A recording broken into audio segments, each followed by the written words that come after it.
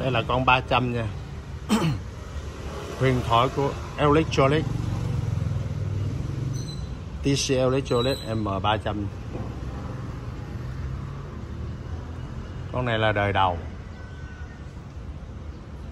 Chức năng giống nhau. Các nút, các mấy cái nút bấm nó giống nhau. Con này hơi chạy hình thức là như vậy ha.